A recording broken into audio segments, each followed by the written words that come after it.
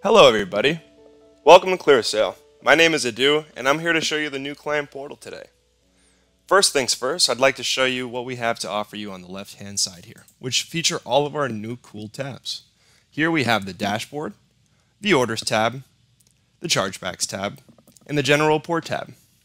First things first, let's get started with the dashboard tab. Here you can see the information relating to the service level agreement to ensure that we're meeting your needs.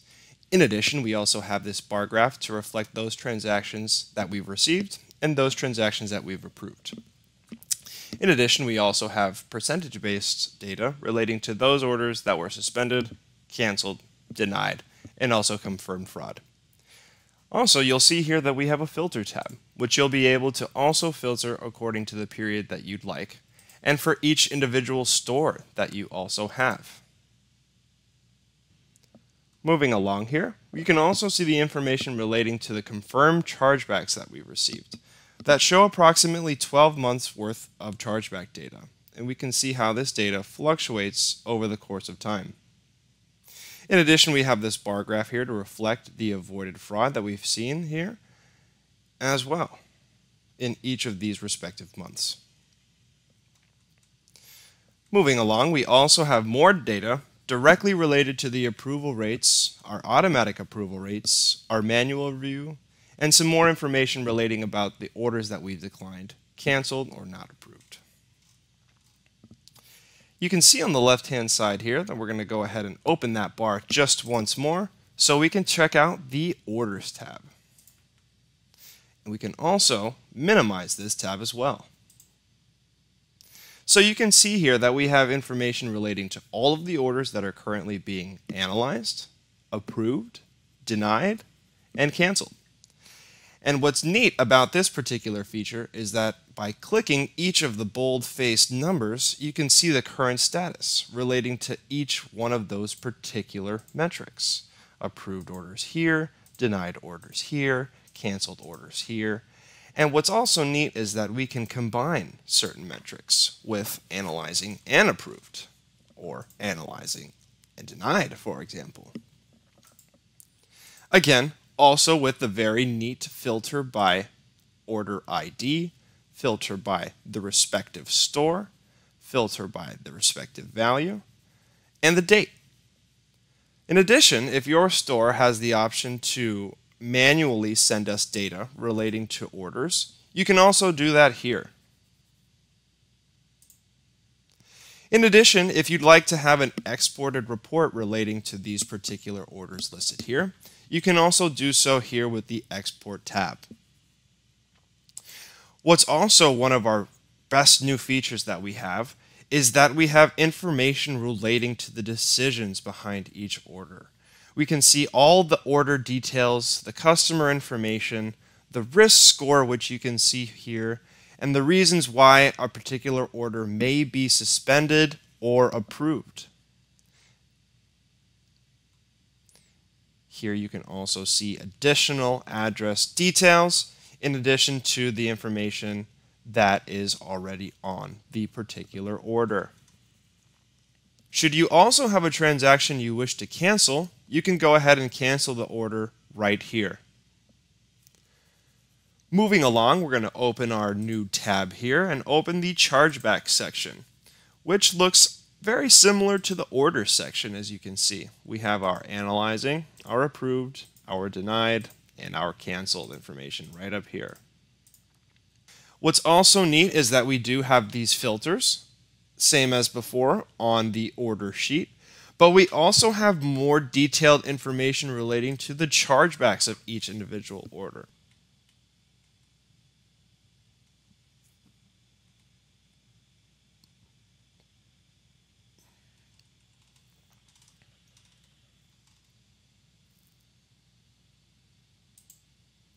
Now, in addition to those really cool new features, we also have the ability to export this data as well. In addition, we can go ahead and request to file the chargebacks here. Now, these would be all the names of your respective stores. We would select those respective orders here, for example. We would submit those necessary files, which I'm not going to do here today just for our purposes, and then submit the additional information relating to the chargeback. But you'll see how easy it is to navigate this page and file those chargebacks. Moving on to the general reports, you can see here that we also have reports that were requested to be extracted relating to the contract, the currency, month, transaction, and the amount. Moving along to the user area. We're going to click on the icon right up here that says WK in our case. We're going to go into the settings. Now, once we're into the settings here, we can manage our profile. If you are the administrator here, you have the accessibility to do so. You have the capability of also changing your password, managing the users under your umbrella, managing the stores, payments, and autopay, and refunds. Here you'll be able to manage your payment methods, enable autopay, check your invoices, manage your refund methods, and check out your refunds. Let's take a look. Here you have your credit card screen where you can indicate which credit card you will be making your payment with, and also your e-payments.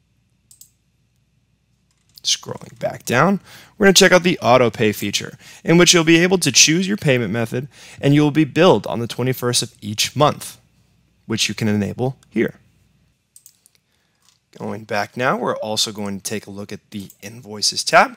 So you can see the status of each invoice, whether it is paid, open, overdue, and you can also export and filter this information.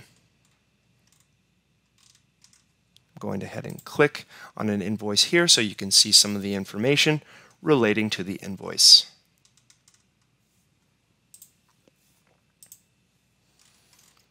Moving along here, we're going to check out the Manage Refund Methods, where you can indicate exactly where you'd like your refunds to be deposited into. And finally, we have the Refunds tab, where you can also filter by the store, status, date, and export this information. Here you can clearly see whether or not the status has been paid out in reference to the refund or whether it is still open. For our purposes, I'm going to click here and we can see that the status has been paid, approved, and paid out.